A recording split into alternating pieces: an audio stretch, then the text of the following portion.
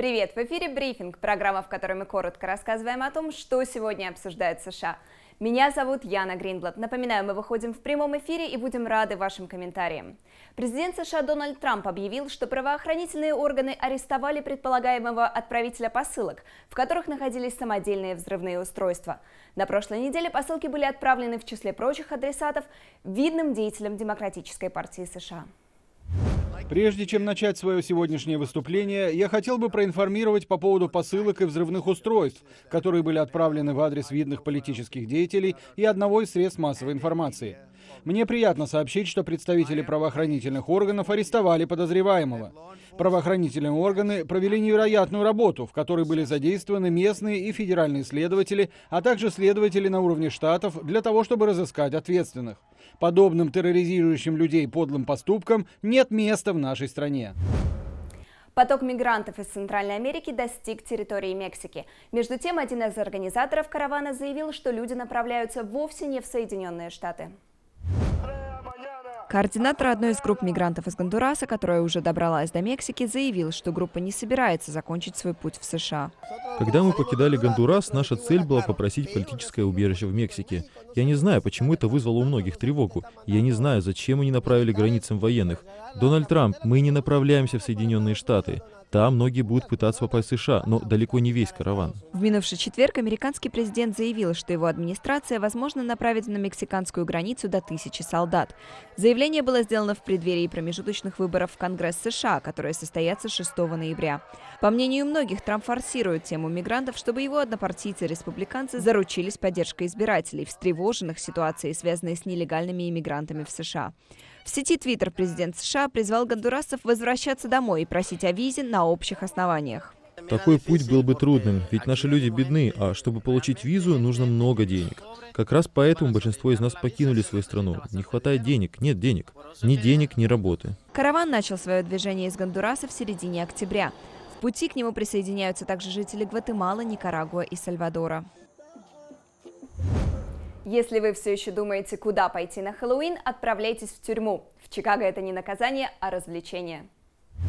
Печально известная старая тюрьма в городе Джулиет готова к Хэллоуину. Во время туров с призраками посетители заходят в самые страшные уголки здания со 160-летней историей. Исследователи паранормальных явлений утверждают, что на ветхих скрипучих лестницах встречаются духи, издающие ужасающие звуки. Тюрьма заброшена с 2002 года и с тех пор привлекает туристов, особенно в это время года. Исторический музей города Джулиет объединился с компанией «Жуткие места Чикаго» для организации паранормальных туров и туров по поисках привидений. Большая часть билетов на Хэллоуин уже распродана, поэтому организаторы советуют регистрироваться заранее. Пощекотать нервы на экскурсии стоит 37 долларов на человека. Охота на привидения обойдется в 120 долларов. Паранормальные туры длятся по полтора часа и доступны для публики до середины ноября. Охота на привидения занимает больше времени – 4 часа. По словам организаторов, часть прибыли пойдет на поддержание здания тюрьмы, так как собранных пожертвований не хватает. Мустанг – это не только название красивой машины. Прежде всего, это красивые дикие лошади, символ Америки. В штате Калифорния приняли решение их отлавливать. Активисты, выступающие за права животных, протестуют. Hello. Умиротворяющая картина, не правда ли? Вовсе нет, здесь проходит протест. Прекратите, прекратите! Активисты выступают за права диких животных, вернее полудиких, мустангов. Протестующие собрались у здания местного отделения Федерального лесного управления США. Совсем недавно здесь приняли решение табунить, или проще говоря, отлавливать мустангов и продавать их.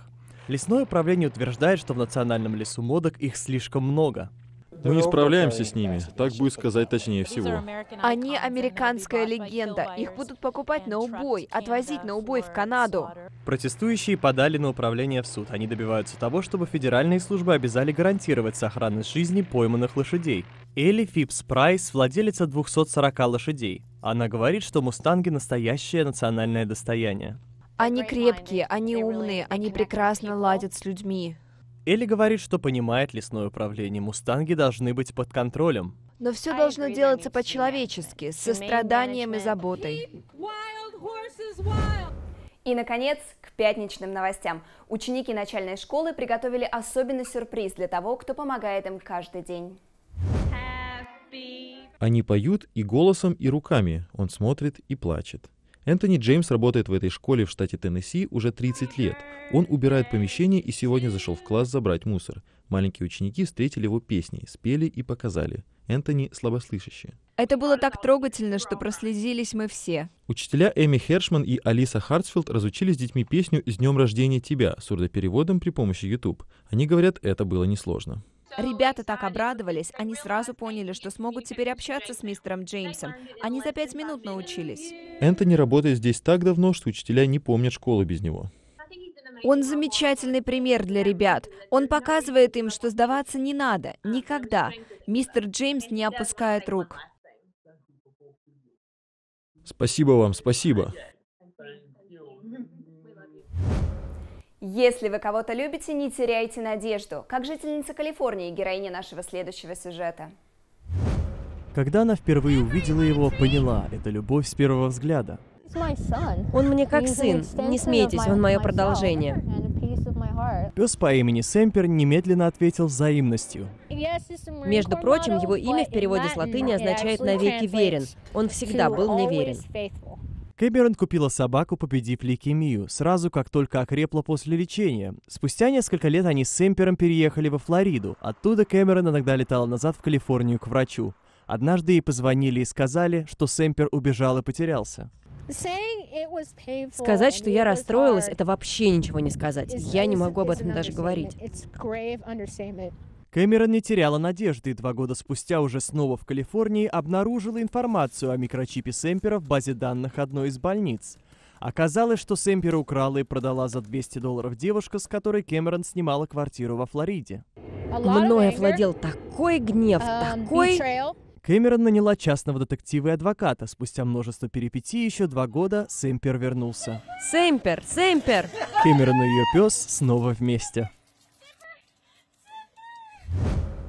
Спасибо, что были с нами на брифинге. И, наконец, действительно хороших выходных.